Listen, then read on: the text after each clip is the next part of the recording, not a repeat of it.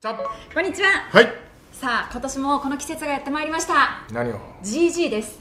あゴールデングラブ。そう佐藤さんいやの方で怖いな。また荒れるな。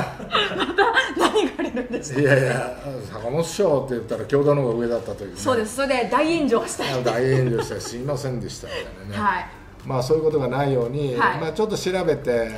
まあ主観ももちろん入るよね。あそうです。もちろんね。はい。うんまあ、11月14日にえ本当の本ちゃんの方のゴールデングラブ賞は発表されますがでもね、ゴールデングラブ賞発表になるでしょ、で記者投票でい。ろいろあるけども、全く出てないやつが1人入ってるとかさ、もうそういうやつは剥奪だな、記者さんね。あーもうあの名前を書いて投票するようにした方がいいよ、あ今でも無記名なんですかね。無記名なのかな、どうなのかね、俺、やったことないから分かんないんだけど、そうかそうかそうか、まあだけど、見てないやつにね、嫌ですよね。投票されるのっていうのは嫌だよね。貴重な一票ってことですからね。そうだよな。なのでここは、まあはい。今年1年ゴールデングラブ賞にふさわしい活躍をされたはい。方の中から、はい。豊さんがさらに、まあ、そこに主観が入ったりとか思いが入って選ぶ豊かず GG 賞です、まあでもね、長期にわたって戦ってきたわけでしょ。はい、そしたらそんなには変わらないよね。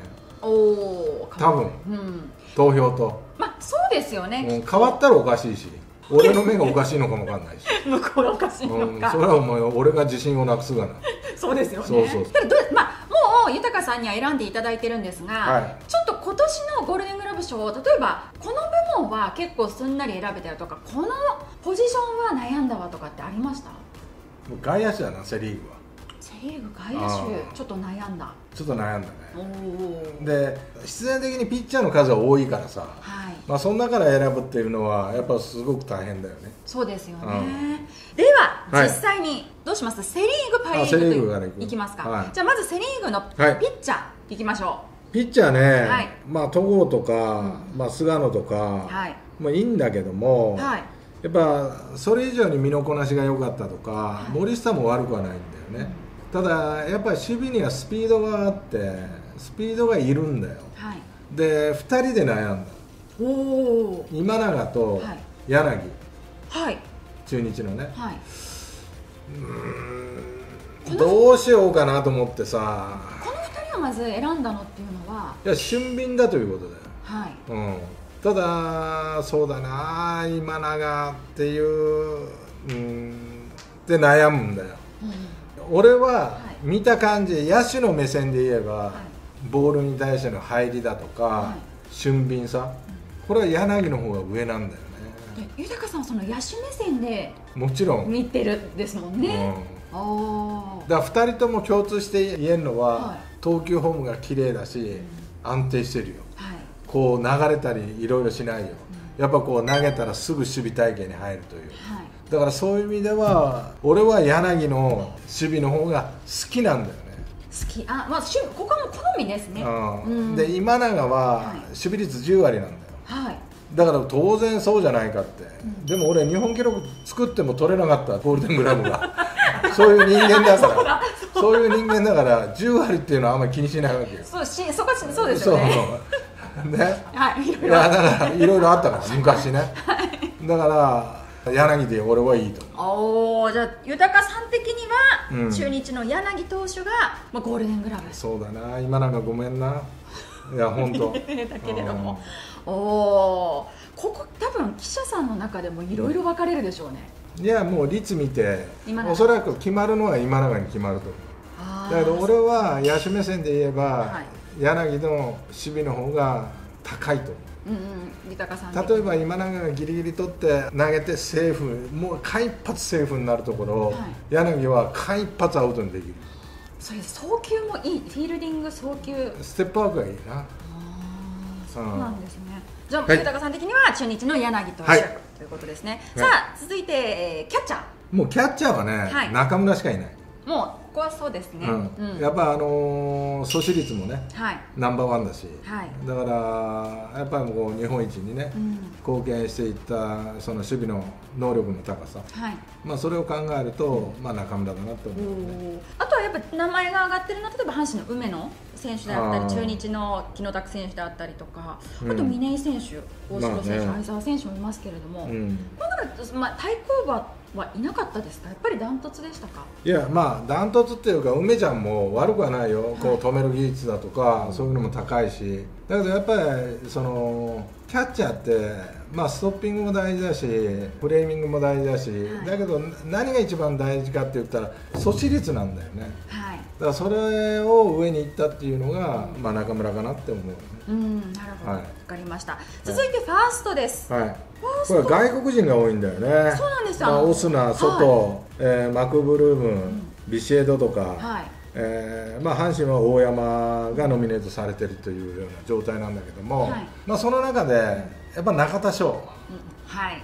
やっぱうまいよ、守備うまいですよね。うまいあのーやっぱこう内野手からの送球、はね、低投高投どっちでもこうパンとうまいよね。ハンドリングがうまいし。だから中田翔で俺はいいと思う。そうですね。ここはなんか、いやビシエドもね悪くはないよ。はい。悪くはないけども中田翔のその動きだとかそういうことを考えるとやっぱ中田翔だそうなですね。どうしてもやっぱファーストって外国人選手が守るイメージがあるまあ中で、そうだね。はい、でもその中でやっぱり中田選手のあの守備のうまさ、うん。やばい。幾度となく助けてるよ。そうですね。やっぱ中田翔が変わってファーストに誰か入って後ろにそらすっていうケースもたくさんあったからね。ありましたね。だから外せないよね中田翔がファーストから。そうですね、はい。じゃあファーストは中田翔選手、はい。セカンドです。誰だと思う、セカンドも山田哲人選手？かな。菊池選手とかも名手ですけど。まあ、そこで起点の聞くやつは菊池かなって言うんだよね。そこで そこで俺が山田って言ったらおおってなるのに山田かなって言ったら俺はお前本気で答ふ富士山って誰より高いってものすごいとんでもない数字言ったらなんか言いにくくなっちゃったみたいな。そうですよね。そんな感じでしょ？じゃあ私菊池選手だと思います。いいよもう。まあ山田はい。哲人、まあ今年は頑張ったね。はい。やっぱ一つの目標があっただろうし口のその身のこなしだとか守備範囲だとかそういうのを考えると、はい。まあ菊池かなと思う節もあるんだけども、はいやっぱり優勝に貢献し山田哲人もここを目標にしてきた、ね、やっぱ菊池がいる間に俺は絶対取りたいとかね、うん。まあそういうものがやっぱ今年は達成されてもいいのかなっていうふうに守備も頑張ったと思うよ。まあさあ技術的にははい。菊池にはかなわないよ、まだまだ、まあ、だけど堅実にこう守備をやったっていうのは山田かなって思うけどね、まあ、吉川もいいんだけどね。そうなんですよ。吉川選手はどうですか？いや吉川も悪くないんだよ。はい。で吉川の損するところって足速いから人が取れないところも追いついちゃうんだよね。それがポロッとやるから印象悪くなっちゃうんだよ。はい。でも普通の選手は抜けていったりとか悩んだり確実になるところをは追いついちゃうんだよ。そうです。あとスーパーキャッチもしますし。そうそう。まあただやっぱり優勝の貢献度はい。ねそういうことからすると守備率もそんなに変わるもんじゃないしさ、はい。まあ、山田かなってうん。あげてもいいなってよく頑張ったねキャプテンでって、そうですよね。まあ、ご褒美だな。あと牧選手はどうですか？いや牧も悪くないけど、はい。だからまあ守備範囲だとかね、うん。まあ、菊池とかのその技術的なことから考えるとまだまだ劣るところはあっても、はい。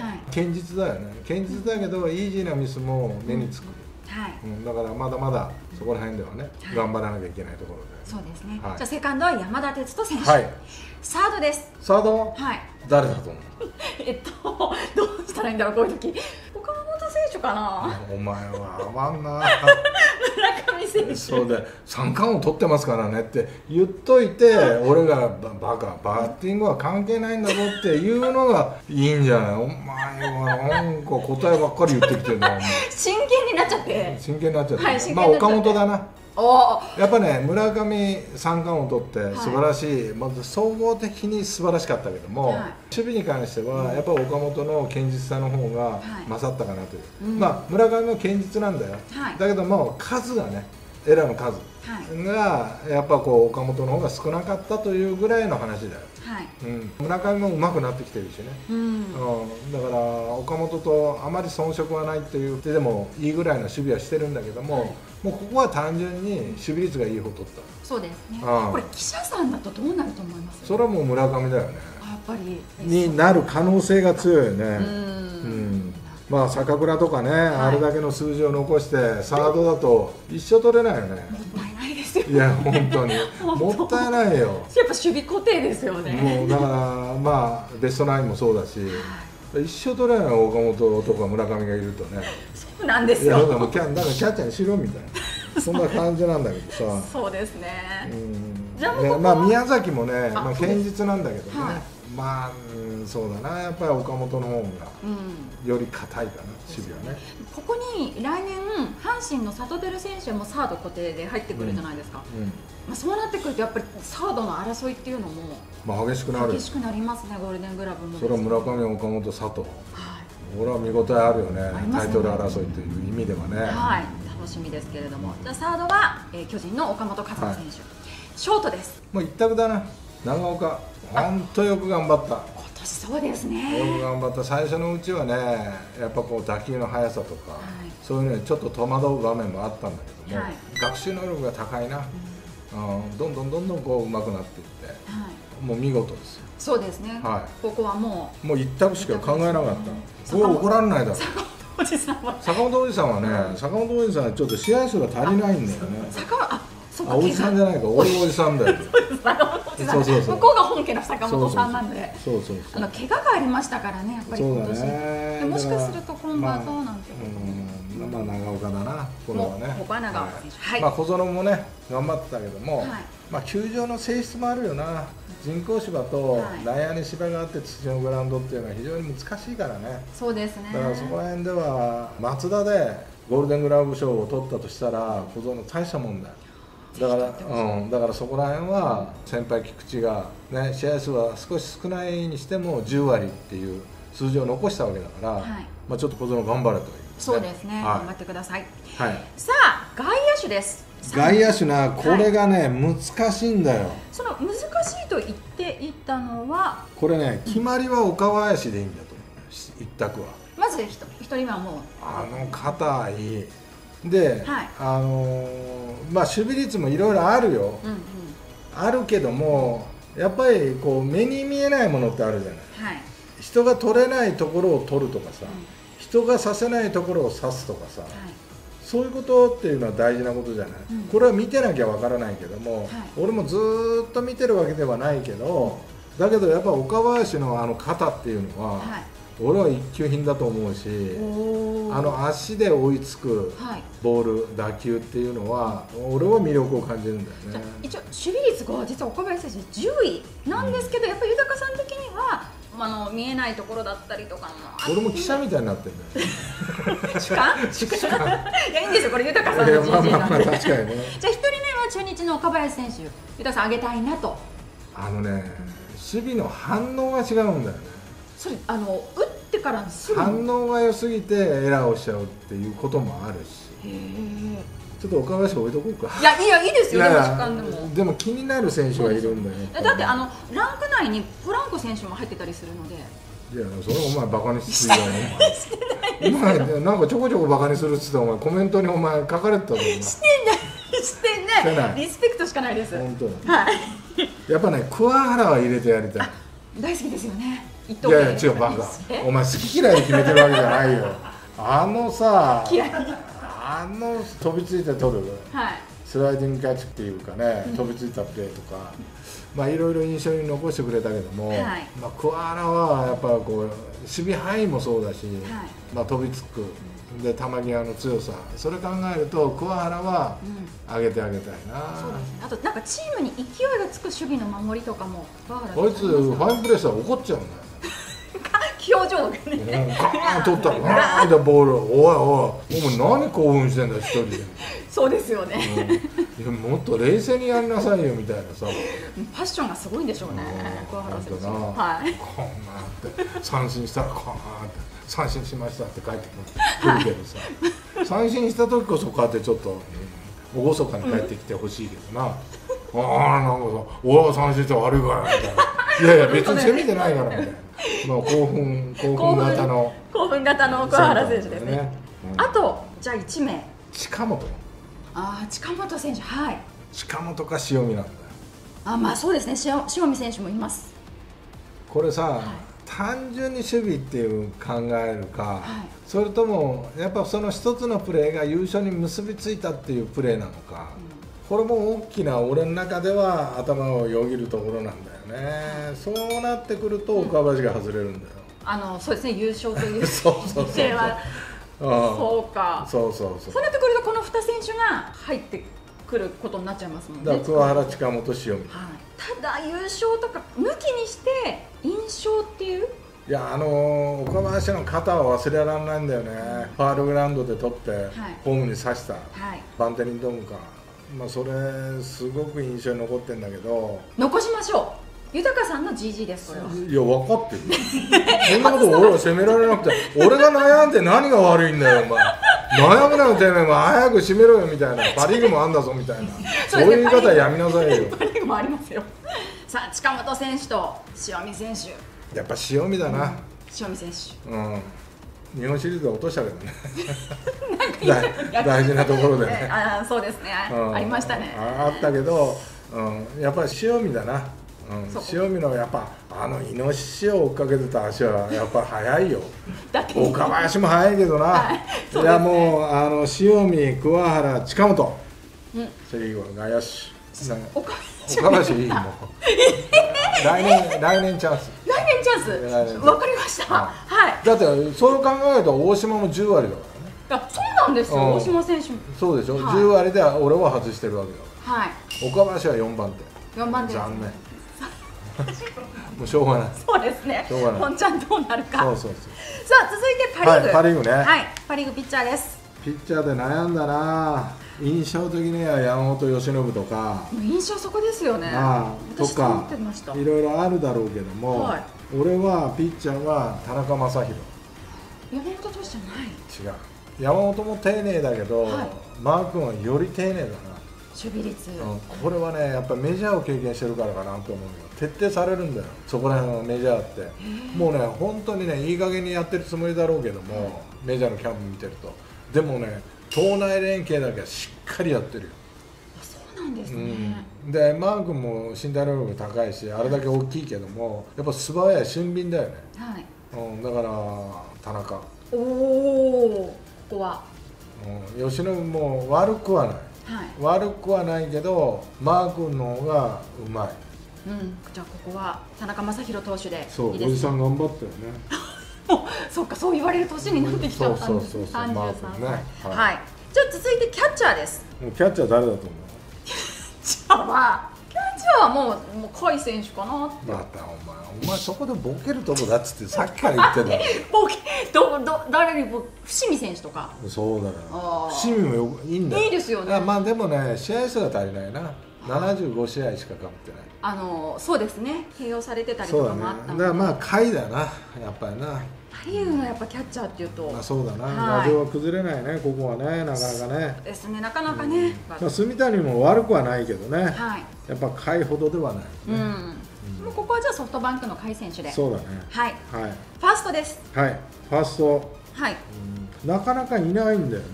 そうですよねパ・まあファーストって代表的なのは、はい。パ・リーグでは山川だよね。あそうですね、うん。西武の。だ山川が一番出てるんだけど試合に、はだけど中村かな。中ソフトバンク村晃選手はい、うん。うん、まあ清宮幸太郎とかさ。そうですね、まあいるけども、清宮のエラーってなんか目につくんだよね、そうですね。目につきましたね。うん。まあみんなエラーしてるんだろうけど、清宮のエラーって目についちゃうんだよ。なぜでしょう？えなんでみたいな。それやるう。んそういうことある。そこをやるみたいな。はい。グローブ捨てて取りに来てたからねボール ですもんね、うん。まあまあでも清宮もゲはい。ームに慣れてきたし、うん。これから減ってくると思うしね、はい。これからゴールデングラブ賞の対象もう本当にあの一番手に来る時が来ると思うよ。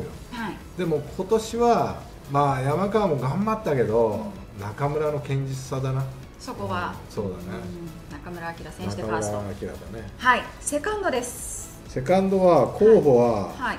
三森、はいソフトバンク。えー、殿崎。はい。浅村。楽天。中村。はいいますけど。誰ですか？ここは浅村選手。な お前臭いな芝居。ちょっと待って。何まあまあね。る。浅村ね、はい。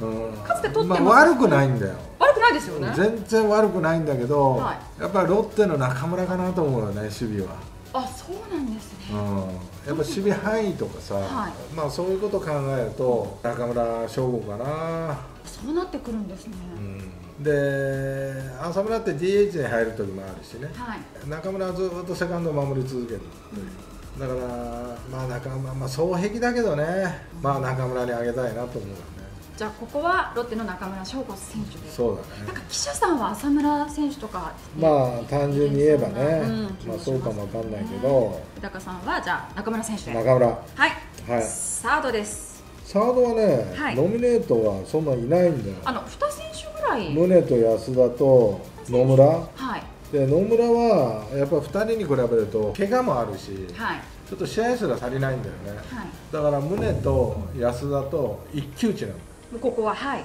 うん。うん、やっぱ宗の派手さだな、そうですね。カレー派です派手さに1票みたい 一票。でも肩とかね見せてくないやれますもん違う違う違うねこうやって脱いで。そうなんでそんなあ違うの？桜吹雪みたいになるんですか？そうだね。こっちこっちこっちです。あそうだね、はい。まあ、安田も堅実だけどね。まあだけどやっぱり宗だなと思う。これはやっぱりこう日本一という、そうですね。ううん。ん、だからそこ貢献してるしね、はい、じゃあここはオリックスの宗選手で。うん、宗はねさせない。あこれは悩んだなっていうのをアウトにできる選手だもんね、はい。まあ、安田はまだあこれ悩んだなと思ったら、悩んだになっちゃう。これはもう仕方ないね。はい、はい。サイドが少ないっていうのもあれですね。あそうだね。セとかで違いますね。違うなはい。はいもうサードなんか激戦区だけどね。セ・リーグはねそうなんですよ。はい。続いてショートいきましょうか。ショート。はい。紅林今宮源田、うんえー小深田。はい。ね上川端。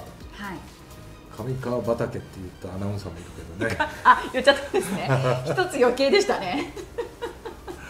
さあ、はい。ここは、今宮と源田の一騎打ちだと思う。はい。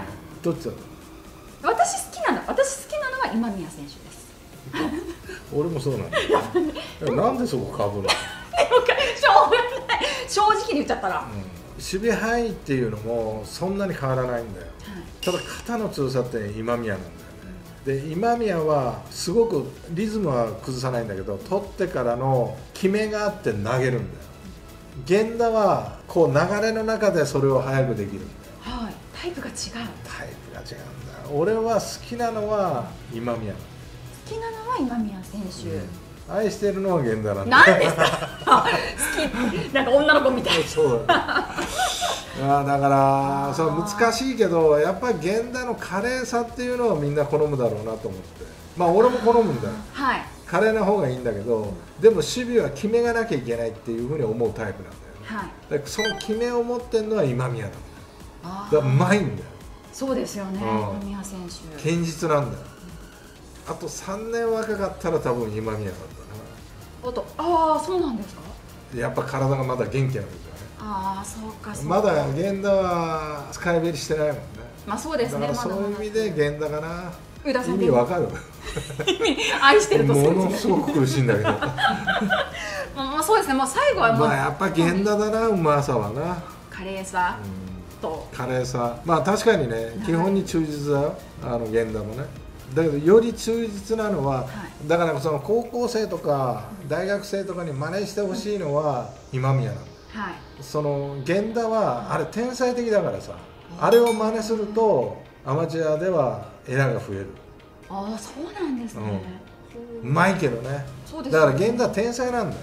ああそうか。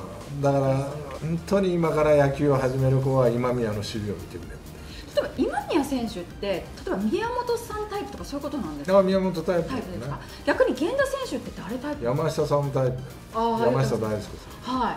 天才型？あ天才型。あもう全然違いますもんねまず系統が、はい。ただただまあ源田だな。源田選手。ははい。い、最後のさあ外野手3名です。はい、まあ、ここはね、はい。もう一択辰巳。はい。楽天のもうこ辰巳選手。こはねうまい。うんうん。やっぱこう速いうん。落下地点に行くのもいい。肩も強い。はい。辰巳でいいと思う。あもうここはもう一選手目はもう迷いなく辰巳選手。はい、残り2名です。高部。高部選手はい。日本ハム戦で落としたけどな。これなんで落としたのみたいな。わざと取らなかったのみたいな。注意をしたことはあるけど、はい。でも高部はやっぱ献身的にね。はい。足も速いしな、ん。だから守備範囲も含めて、はい。まあ、高部でいいと思おロッテの高部選手。ははい。い、そしてあと一枠ですね。一選手。う迷うな柳田選手とかはゴールデングラブではないの？ちょっとないな。あちょっとないのか。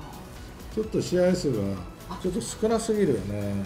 だから島内と柳町であはい。ちょっと迷ったの。はい。で島内の守備範囲と柳町の守備範囲では全然違うんだよねうん。島内怒るかもわかんないけどユニフォーム売れ売れてるかね島内。言ってましたね島言内選ってたね。手がね本人が。まあそれだったらもう柳町かなと思う。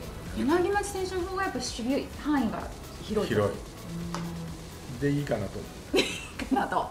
う、おお外野手って悩みますねやっぱりセパともうん、に。多いからな。そうですね、うん。選ばれると。だからレフトだったらもうレフト限定センターだったらセンター限定にしてくれたら、はい。そんなに迷わないんだけど、もう一色単だからさなんか。そうですね。雑だよな 外野手だけは。なぜか。いやレフトやらしたらめちゃくちゃうまいとかさ、うん。そのまあ巨人の V 級時代のはい。高田さんっていうレフトがいたんだよね、はい。まあ、d n a の GM までやった人なんだけどさ、はい。あの人はフェンス際の魔術師三塁線抜かれてもフェンスにつけないとか、ほうね、シングルヒットで止めるとか。でもセンターだったらそういう形容詞はつかないわけそうですね。うんそしたらセンターではゴールデングラブ取れないけどレフトだったら取れるとかさ。ポジション別に。ねだからポジション別にしたら面白いと思うけどね。そうですね、うん。一色単にせずにちょっとね変えていけばいいと思う。まあでも一色単だから一色単で選んだけどね。はい、というわけで豊さんが見る、はい。今年の2022の豊和 GG 賞長くなったなはい。長くなりましたが、はい。これがじゃあ11月14日はい。発表された時に何名の選手と被ったりとかするのか全部当たるのかみんな真似したりしてな。あ俺これ見て。これ見て。ぜひ参考に